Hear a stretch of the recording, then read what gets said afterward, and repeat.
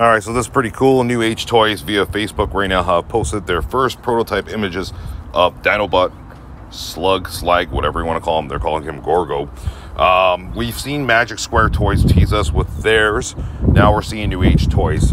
And so far, from what I'm seeing at the prototype right now, looks as cartoon accurate as possible. And I know New Age Toys really put a lot of thought into their figures, and you you're just not disappointed with them. They're you know about maybe four and a half inches, maybe just under five inches tall. But again, you can tell already by the face right there that that is as accurate as possible.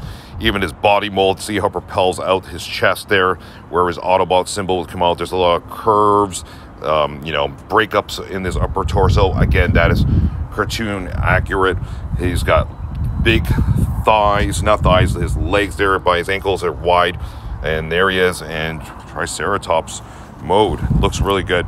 Um, of course, we'd like to see more color images, but you could probably start pre-ordering it at some third parties. Anyway, check it out on Facebook, New Age Toys. They make third-party Transformers, and they do a very good job. Let me tell you, thumbs up from us from what I'm seeing so far. Take care.